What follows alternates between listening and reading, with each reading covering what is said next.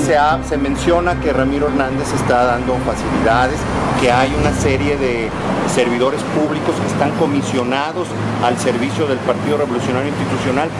Estamos señalando a los que están en esta lista, eh, 22 eh, funcionarios estatales, municipales e integrantes del Partido Revolucionario Institucional que realizan actividad criminal dentro de esta red de corrupción para favorecer la campaña de Ricardo Villanueva. ¿Los delitos cuáles son los que están ustedes? Bueno, hay una infinidad de delitos, des- eh, desvío de recursos públicos, asociación delictuosa, eh, uso indebido de funciones y atribuciones.